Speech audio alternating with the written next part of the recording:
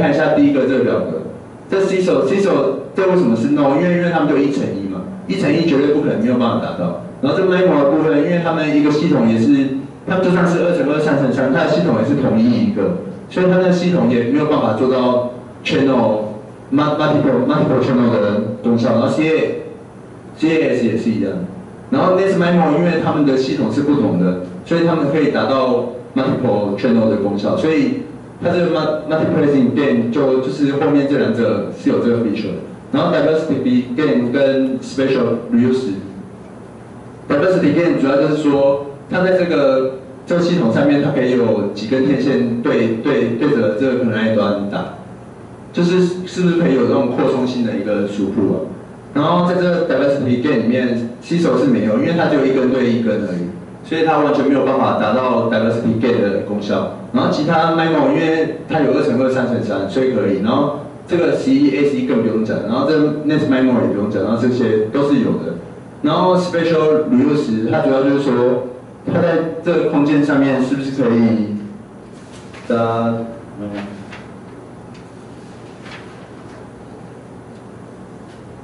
它是在说这个空间上面是不是可以去重复使用？就是说，譬如说，譬如说这个两个可耐，两个可耐是不是在可以在同一个圈筒上面一起去共用这个空间？那共用这个空间最一个最基本的理论就是 M A make 嘛，对不对？make CSMA 就可以达到这两台可能可以共用在这个空间的理念了，所以它这边这边 special use 就是这吸手是 yes yes yes 这样子，对，然后刚才刚才这边是比较，它主要说 Nemo X 啊这边是它的特色全都全都有这样子，然后再来就是这 Nemo X 它主要就是。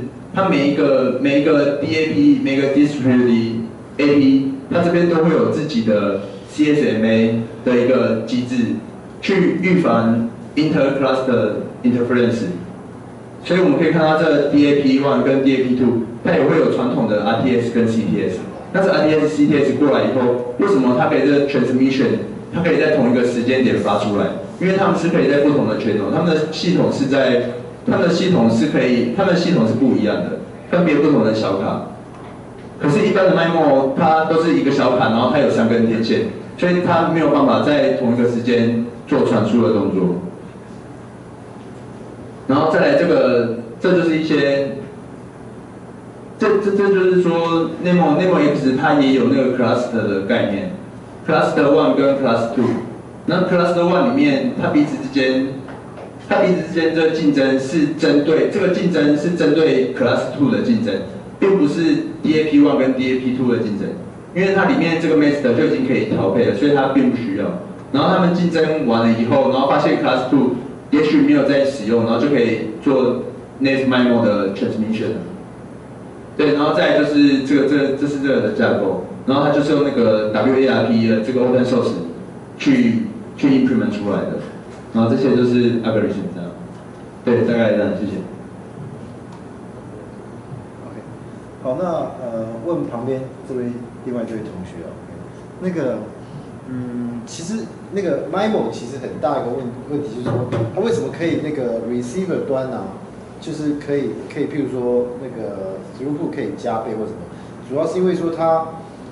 你像看，就比如说，我们假设是说这个，你刚刚讲说那个三根天线送到另外那个 client 这边也是三根天线哈，就是那个对对对这边这个右边这边八点点十 n 这样的情形，是因为说他们那个天线的这个相位差，他们都已经预先知道，就是说你的那个 client 那边，他他在把那个资料转回来的时候，他因为他知道说每一个天线的那个，比如说这。天线一、天线二跟天线三，因为它距离固定嘛，所以说因为都都是都是焊死的，所以它那个相位差可以 fix。那所以说我这边回来的时候，我那个那个那个可以算回来。可是现在你现在这个东西，因为你那个你那个小小的那个天呐可以乱摆，对不对？你是你看那个图，对你它是拉一条线出来，这样可以乱摆，对不对？那你如果说我这些这些线这些这些全传给不一样的这个哎这个这个 client 可能没有什么问题。传给一个 client，说这个 client 有三个 antenna，对，会不会发生干扰呢？就是这这个这个这个这个天线之间的那个传输，它那个相位差，其实有有没有可能会发生干扰呢？它的它的那个 client 那边的那个那个，就是接收端那边的那个呃，就是 physical layer 需不需要那个 demodulation 那个地方有他有他有特别提到这方面，他有做一些什么改改变改变吗？他这他这有就是因为有先先请请另外一位同学回答，因为这个啊，是用讯号，对，就是就是不同频，然后接收到会有不同讯号强弱度去判别说他现在要接收的哪一个才是正确的这样。呃，不能，这不能用讯号强弱啊，因为他们是相位差而已，他们的这个强弱应该差不多才对。它是因为它是一个 distributed 的那个那个 A A P，然后所以他认为会这个他他在 paper 里面没有提到任何的 solution 啊。我我这边我我是很好奇，就是理论理论上是可以这样做啦，可是就是你分开成不一样的这个 client 是不是有不会有这个问题的。可是你说，譬如说你这三三个 antenna 送给一个 client 的时候，或者说你三个 antenna 里面其中两个送给一个 client 的时候，你就开始会，因为你那个距离，你那个 antenna 是可以乱拉的嘛，因为你那个那个线是是是是可以活动的，它它的那个相位差不会对那个接收端造成影响嘛？它的那个接收端它里面没有讲到相位差的这个问题，跟慢，嗯，这个我就觉得很奇怪。他只有讲到就是如果你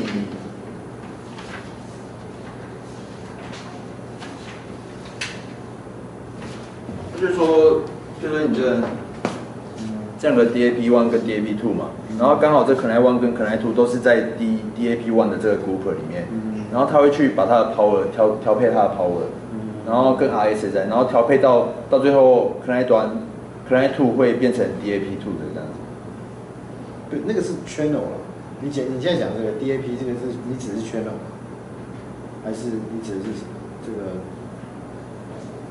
嗯，就是他会把它调配成一根对一根的、一根对一根，不不，我我现在说就是几根对一个 client，嗯，我不是在讲说两根两根天线送到两个 client，我说嗯两个天，比如三个天线啊，三个天线送给一个 client，对对对，这可以做到嘛？你这个对对对，他这他这对。呃 Nemo，他会把它加到一个 group 里面，对，所以我现在是是在讲说嗯。这个问题，比如说我们现在讲说你们两个同时跟我讲话，对不对？理论上我这边有两根天线啊，嗯。我可以同时接受你，我也可以同时接受接受你的。但是因为你们两个讲的这个那个声音啊，嗯。有个相位差，所以我在这边我在 de demodulation 的时候，我可以去计算回来。嗯嗯。但是现在就说，因为你们你们的距离可以拉近拉远，其实你们这个、这个线嗯，是是是是软的嘛。对。所以我一直是说，那我这边的话，怎么知道你的相位差呢？有可能它是用它上面是没没说固定吗可是它有可能是用 Master AP 去调配嘛，这个我我不太去得到一些资讯。的。我我这这这这这边就是我有点比较好奇是是是是对啊对啊对啊，所以这 paper 上没有提到这个，没有没有没有没有提到相位差的。对，因为这个是 double 一的那个那个那个那个那个的那个 paper 出来的，讲到 MIMO 一定会讲到那个怎么样去解决像这种这个这个就是把那个 signal 转回来那个那个公式吧，就是那个什么那个就是 signal processing 那一整套东西啦。对啊，但是我我我我在想说，它大概就是好像都没有都没有讲到对啊，康康讯康讯的 paper，其实它这边主要都讲的蛮蛮实物性，嗯，好吧。一个应用上的东西。对啊，好像讲的太实务了。对对其实有一些东西，我觉得他并没有讲的很清楚啊。是是。OK OK，好好太太多时间了。对啊对啊，开始开始，我会被被骂，所以。好，下一组。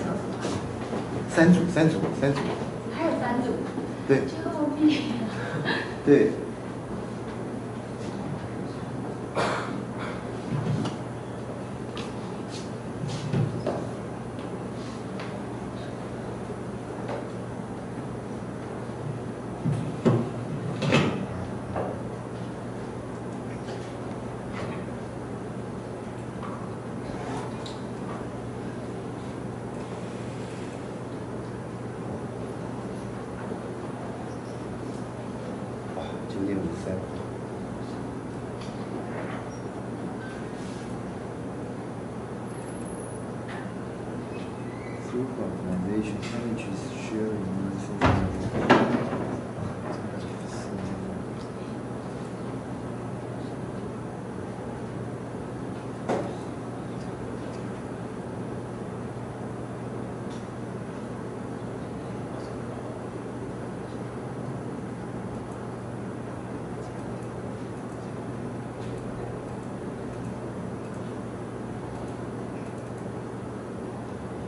弄成全荧幕就可以看得到了。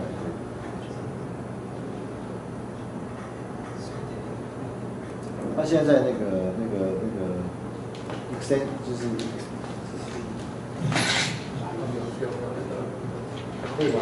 可以啊，可以看。OK。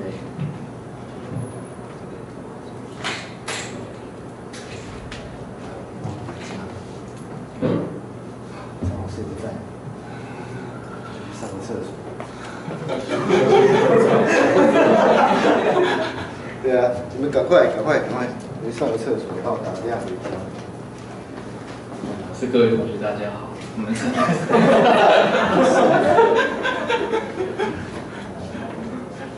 蔡老师的。是这样那一个回来吗？不属于会舆论。啊，我先装那个哪里？好，我们先 장관님.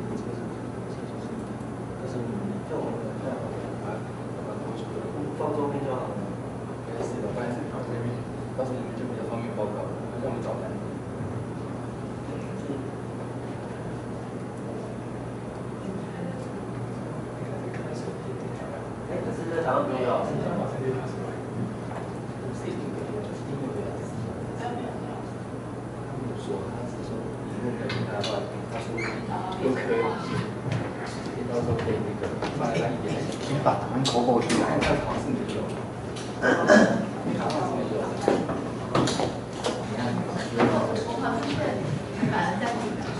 对啊，因为这是要讲给你。去的。我本来想说这样子不要浪费时间。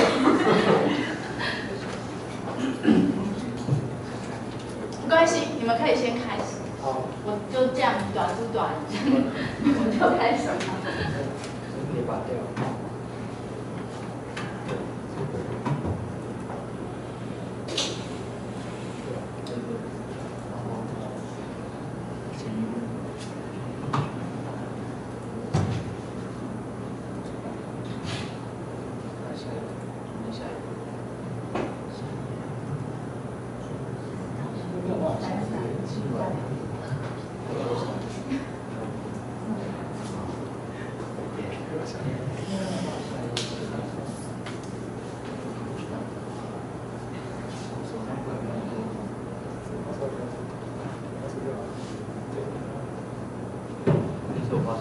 好，开始开始。问题是我我现在没有办法下一页，很奇怪。谁会用？按下一下下。下面可以按下吗？按下，因为下没有反应。怎么了？按下没有反应。有问题吗？对啊。没有反应。电脑告诉你说你会当掉的。对啊对啊。没有，他这边都有变，这边没有，这边没有。对啊，这边我下面。切换画面模式后，还是要还是要到那个什么？哎，现在模式，对没有画面切换。你弄成你弄成全荧幕就应该就可以了。应该是是不是投影投影片？你现在都全荧幕，对啊，那那就会塞啊。对啊，可以啊，弄全荧幕就可以了。下面啊，好不好意思，耽误大家太多时间。好不，会不会不会，我也是扣五分，扣扣掉你几分钟的时间。啊。呃，老师助教，各位同学大家好，我们这一组是第十二组，然后我是张根俊，然后他是我 partner 吴玉章。那我们要报告的是呃无线感测网络的那个期末报告，那题目是能源分享在无线感测网络上的贡献。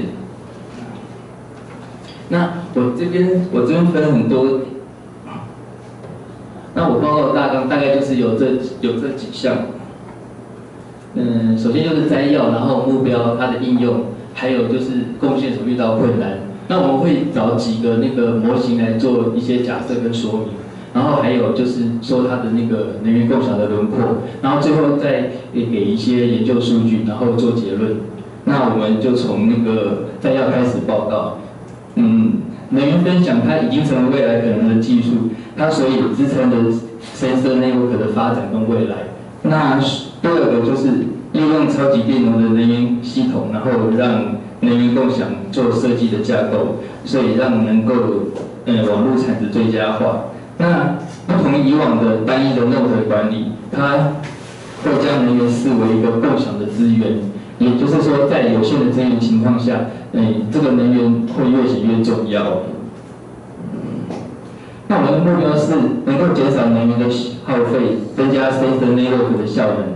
那随着 sensor network 上资料不断的分享，嗯，感应的装置呢，也可能需求，也可能要寻求，嗯，未来的一些能源。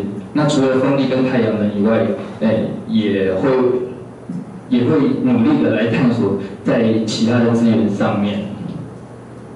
那我们的这个应用呢？嗯，会运用在物联网的方面。那物联网的方面，也就是说，呃，一些晶片开发公司，它会寻找更多的能量安装在感应器里面。那比较有名的就是那个光能啊，像一些太阳能的这个部分，也就是说，会吸取一些太阳能的那个能量，呃，而不会在乎太阳能它的面积有多大。然后还有这个热能方面是，嗯。适合一些在人体方面贴近人体的设备跟技术。那理论跟实物面方面，因为有很多呃能源的收集，呃可以应用在很多整合性的应用上。那例如说环境监视啊，还有穿戴式的计算，能源分享也会被多端的感测装置拿来做应用。然后我们也会透过一些分析跟模拟的评估，然后让能源分享有效的解决一些一些传输上的困难。那上面所遭遇到的问题呢，就是，呃，它的来源有的一些的不确定性跟不一致性，所以它 sensor network，嗯，用有的时候会会做一些传输效率的一些降低。那第二点就是说，在特定的网络那个应用之下，不均衡的负载会使节点的能量提早用尽。那能源共享的冲击呢？也就是说，在不同的位置下所得到的太阳能也就不一样。然后，它也用来构建那个测量大自然的一些特征。那测量大自然的一些特征。因为太阳能的资资源有限，所以如果长期要利用这样的一个资源的时候，要怎么样去强化网络传输的效能，是目前去研究的课题。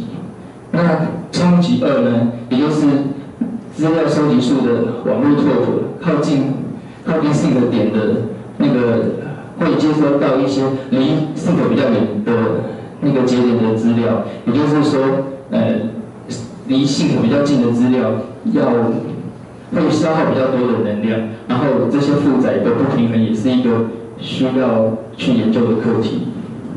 那我看那个网络的拓扑的呢模型，那拓扑的模型就是说，嗯，它这个感测网络是由很多的节点所组成的。那像在 A 点离 sync，它是一步距离的一个。一个 hub 数量，然后 A 一点是离 sink 两步距离的数量，它是一个树状呃树状的方式来做那个那个传的传输。那接下来的就是说，呃，A B D 一是连通的一个一个网路线，也就是说，当 A 传讯号给 B 的时候，会因为一些讯号物理的因素呢，而可能让电力做一些的那个失真。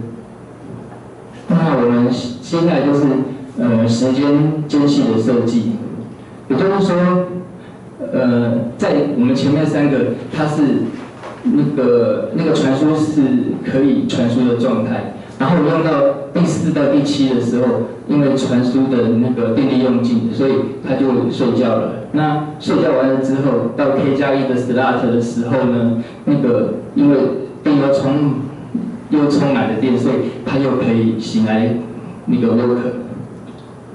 所以我们这边有一些我们分享的那个架架构，呃，就是它用那个 data gather tree 的方式，然后它有一些的那个风暴是从呃最底下吸传到 sink，然后就是它有一些那个剩下的能量，还有一些中间那个传输所需要的那些传输的单位。那第一图就是说，如果当 A 点没有电的时候，那 C 点就没有办法传传输到 sink。那所以也就是说，第三个图 C 图，呃，如果如果那个 A、C 充饱了电，它又可以重新 work。那这个部分包含三个部分，也就是说，在能源估算的一个部分，呃，那就是整个资料都是一个分散的情况之下，那每个点呢，它估算这个时间间隙中有多少能量，有多少能量，然后有多少能量可以被消耗，呃，是在是决定了不同的这个时间间隙当中。那第二个就是说能源能源需求的顺序啊，因为这个能源有有些比较比较耗电，那有些存在的电比较比较多，有些比较少，那所以所以会利用一些它的那个顺序来做一些能源的补给跟能源的传输。那接下来就是能源传送的路径。那每个每个点它寻求被其他所所求能源的节点，然后在讯息传输的时候呢，就是要将能源消耗到最低。那当然是要避免那个双向传输，以免做资源不必要的浪费。那这个就是那个呃能源所求的一些一些图。那第一个图是是它所求的顺序是 A、B、C 三个，然后那 B 的 B 点就是说。那如果 Node A 先向 Node B 寻求能源的时候，因为对 A 来说，A 寻求比较小的一个能源消耗，那 B、C 点就是当 A 已经完成能源的那个转换需求的时候，那 B 它如果还向 A 去寻求能源的时候，那就会造成就会造成 A、B 之间资源往来的浪费。那所以我们再看下一页。那看到这个问题的时候呢，那 A 就会取消对 B 的请求，然后，然后让 B 要求 B 去转换对象，向 C 来寻求做能源的转换。那这个相关的数据的研究呢，也就是我们拿的那个那个节点的数量跟 hub 的数量来相比，做做产值方面跟网络生命周期的相比。那产值方面我们可以看到。我们产值方面，我们可以看到说，有能源共享的的状态的状态之下，它的那个产值会会越来越高。那没有能源共享的这个产值，就就增长的速度就很有限。那第二点就是在网络生命周期的方面，嗯，也就是有能源共享这样子一个环境呢，生命周期它都维持在比较一个高档的状态。那没有的，就的速率都比较偏低。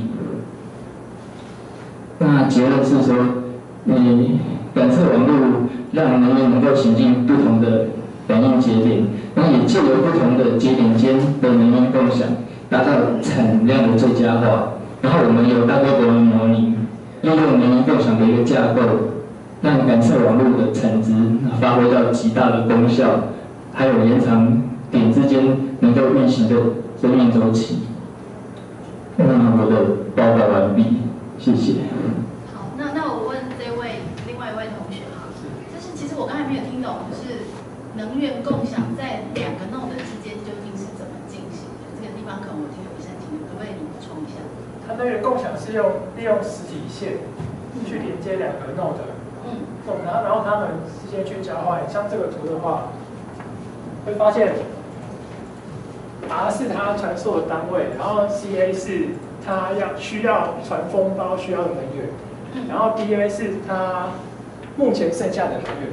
嗯因为他发现他的能源已经不足了，所以他于是他就跟 C 去借了两单位的能源，嗯然后让 A 可以把这个六六个单位的风包给传出去，这样。然后它这个红色线是由实体线去连接的，嗯然后它这个红色线是跟它的整体网络架构是，它不是以网络架构去考量去连接，去呃考量连接的方式，他们是以能源转换的角度去连接。所以这个他去用他的电是真的有实体的对有实体的线对，诶所以这样叫无线网络吗？还是你这里其实？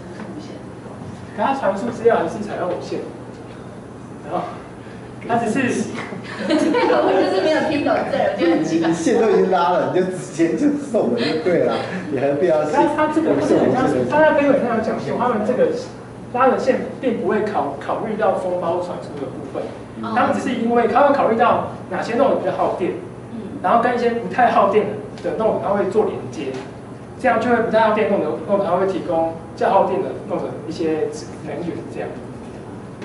啊，这边六个是这样。只是我觉得我我我就我问最后，你不用回答，我只是心里有点疑问。你说我周围的人，通常如果说以事件来说，我有感知到，他有感知到，对不对？好，啊，你说你跟你周围的人连，然后你说因为他比较不耗电，然后你比较耗电，所以你跟他要电，那就干脆你就给他送就好了。我有点不懂，因为你们大概都申请到差不多的资料。就直接送。对对对，因为你们两个通常会感测到的东西就差不多嘛。那为什么要你这个比较耗电、快要死掉的那个，然后来送同样的资料，然后你再去跟他接电，这听起来有点笨。没有，我们只是我的疑惑而已。好好好，就这样子，谢谢谢谢。下一位，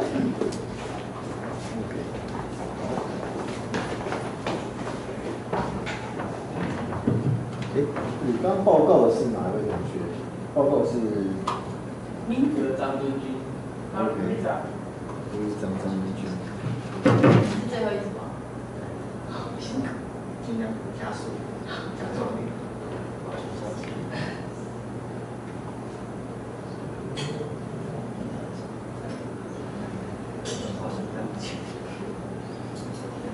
剩下两组。虽然喊出来了，但是就是我是吴佳茹，是吕燕茹。对。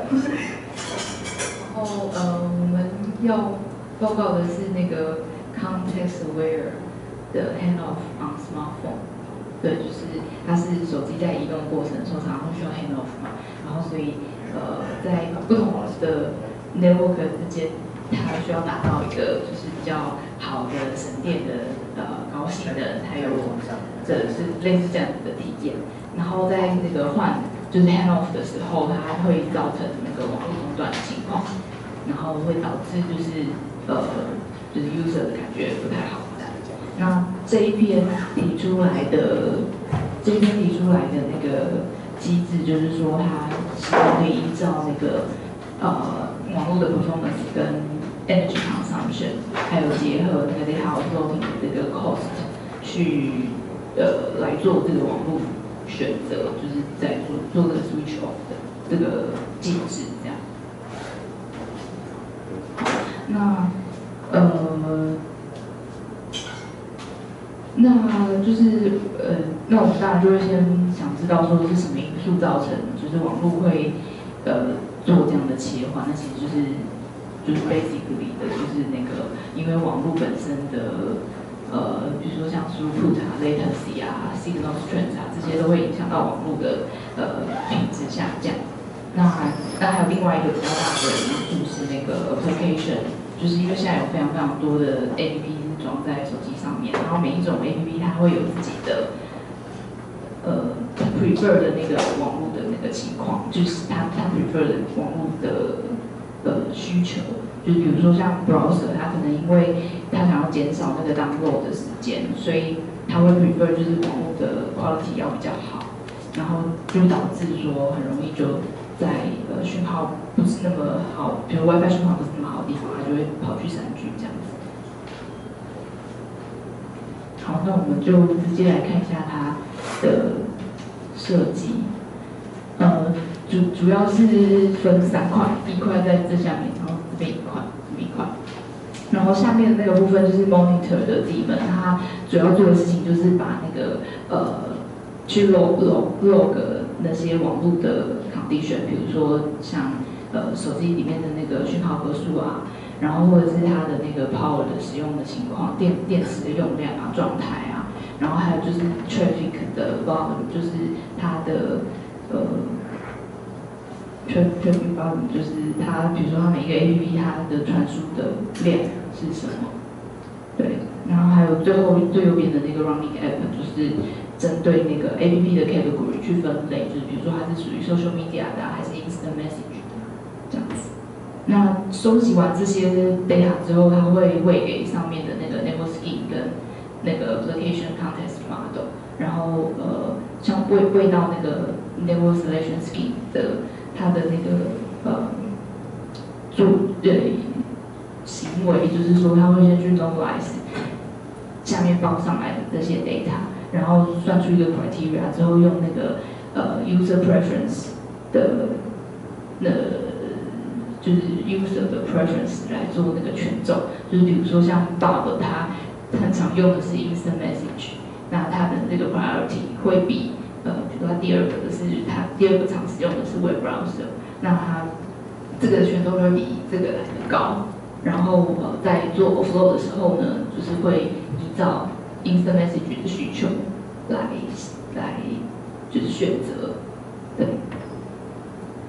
好，那右边的那个 application 的 context model 的话呢，它其实就是呃，就是因为有很多很多 APP，然后每个 APP 的呃，就每个人的使用习惯也会不一样，那所以它就是依照说它的使用的呃相似度，就是 APP 的使用情况的相似度，或者是依照它的那个 geo label，就是跟到它的那个地点的相似度来 group 起来，那。那就是比如说像呃 Twitter 或者是 Facebook 这种 social 的 network 的应用，它其实都是利用那个网络的流量啊，还有电池的持久时间来反映说它的呃 network 就是它选择哪一种的呃网络。那或者是说依照比如说你在呃学校或者是公司或者是家里这种网络的情况的不一样，地点的不同，然后把它 group 起来做一个算。相相似度的的集合，然后用这样子的 crowdsource 的方式，把它建立一个 context model 出来，然后这样的 model 就是它会共享那个 APP 的 data，然后可以降低它的那个 training 的负担。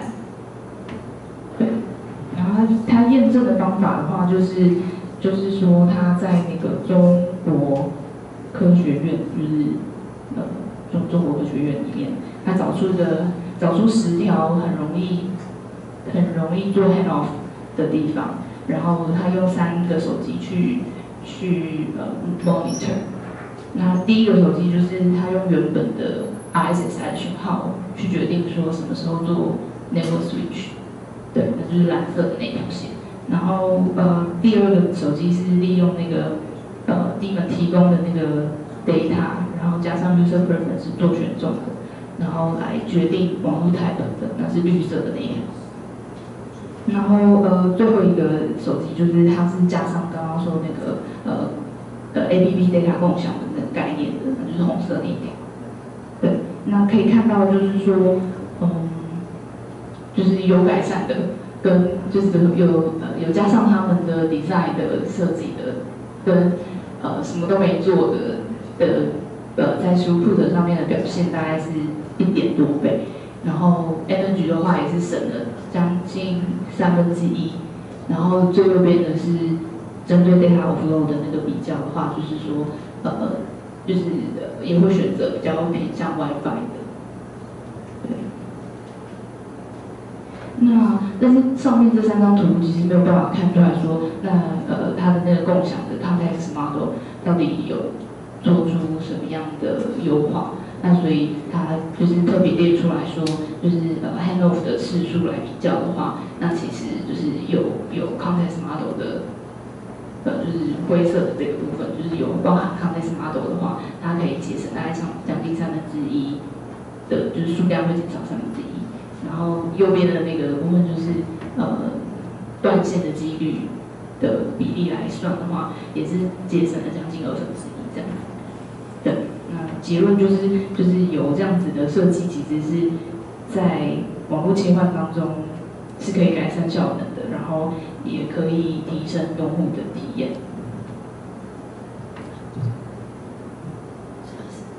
OK，结束结束了吗？是是啊哦 OK。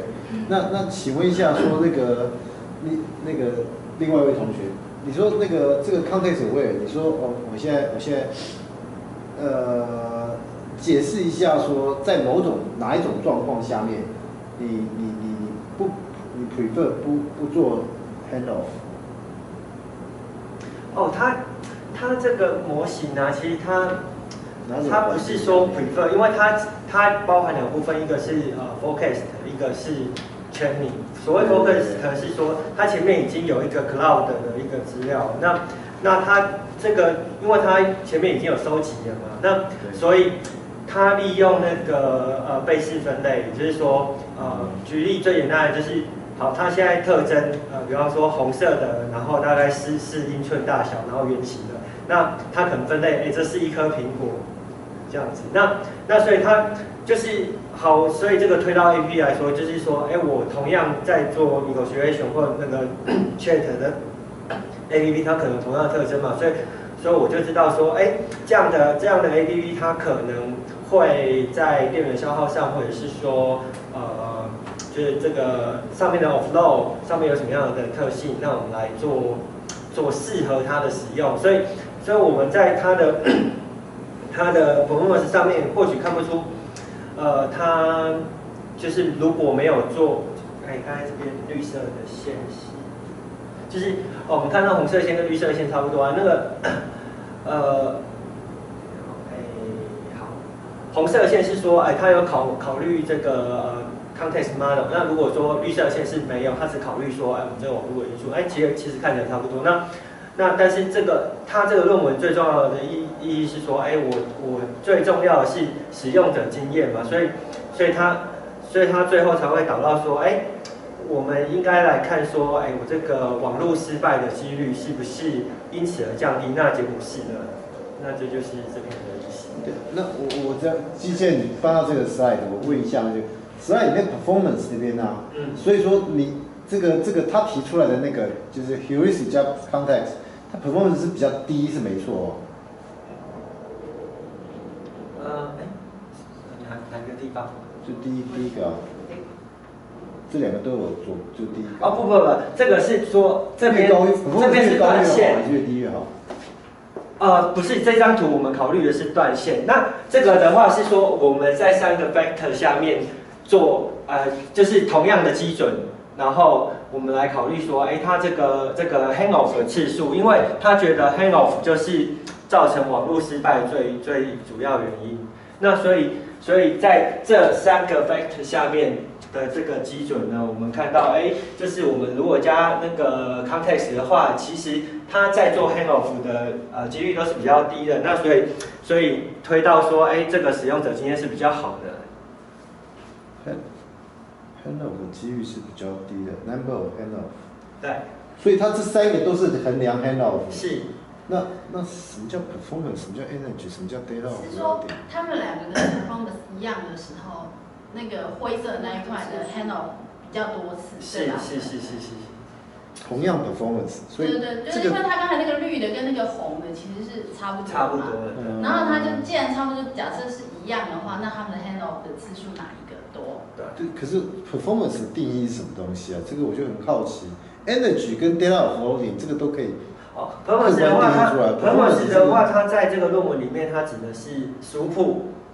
那也就是说，哎，它同样 throughput 的状况，对，因为它它的它这个它做测试很简单，它就是哎，我一个 Android 平台上面装 i p e 那开始打，比方说我打几枚嘛，那嗯。那所以它就可以在这个上面做衡量这样子。OK，好，时间关，系，时间关系，谢谢。好，好，最后一组，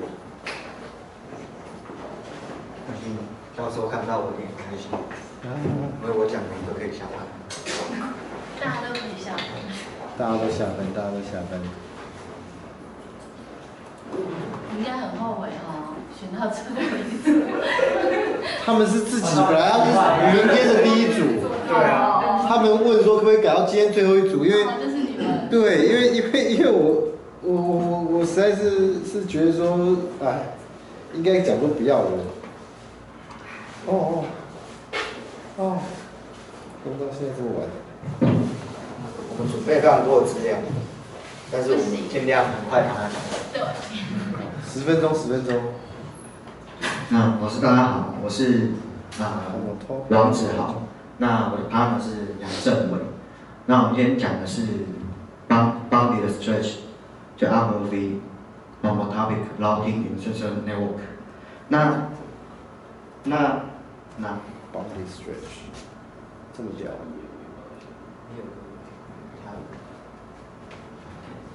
屌。OK，那那做 homotopic routing 它，它有它有一些啊、可以改进的地啊、就是它它改进的一些东西，就是它可以 improvement low balance 跟 routing 的那个啊、一个 re resilience 这个就 Resilience resilience，那应该就是说比较可靠这样。那嗯。对，那它 pro pro propose 一一个比较 lightweight 的一个 homotopic 的 routing，那可以 generate a consistent bound bounded stretch stretch compare the shortest path of the same homotopic type。那第三点就是说，它的目标，呃，重点就是它可以找到最短的一个方法，by local grading decision rule。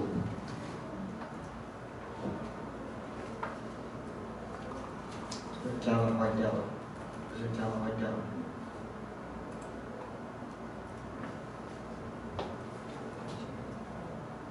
以前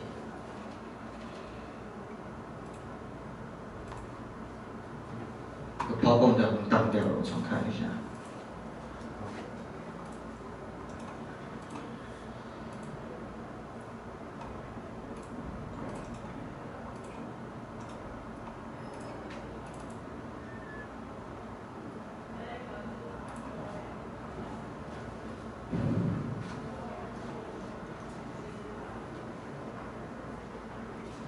那我们 topic 这个这个方法哦，它主要可以，呃，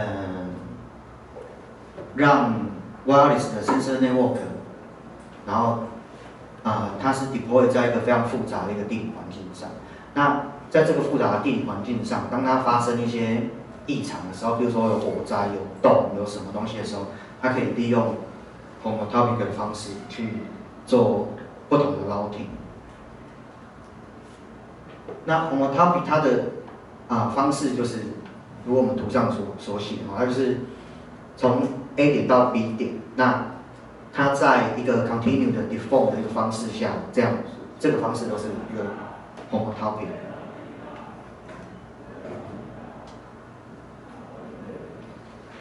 那像呃像你这张图来看有没有 alpha alpha 贝塔，就是上面这一条是 alpha，像这样是贝塔，然后中间一个 gamma 跟 delta。那呃这张图主要是在讲说啊，好像 alpha 跟 gamma 它就不是 homotopy equivalent。那是伽马跟 delta 这种中间是不会去有呃洞啊或者说什么之类的去阻挡它，这样子可以 continue 的切换到另外一个地方的这一条才是 homotopy 的 equivalent。那个灰色那个区域是是是建筑物还是什么？就是 void。就是一个后后一个洞。对，就是一个阻阻挡的那个。那呃，它这个它这个方式呢，主要用了两个方式去做一个 routing，那分成 top level 跟 bottom level。那 top level 它主要的目的就是在于切割啊、在这个无线网络的 sensor network 区域上去切割很多个三角形出来，然后去决定说哪有一个哪一个 sequence 的的啊怎么拜访这些三角形，然后定出一个 sequence 出来。那 button label 就是说啊就是 routing 这些 message，然后利用刚刚定出来的那个 sequence，然后把资料传送过去。那两两个都会用到 greedy routing 的那个方方式。那一啊、这个就是我刚刚举的例子啊，中间就是一个就是一个阻挡的物，那那它就是切割成一些三角形。那 shorting space 是红色这一条，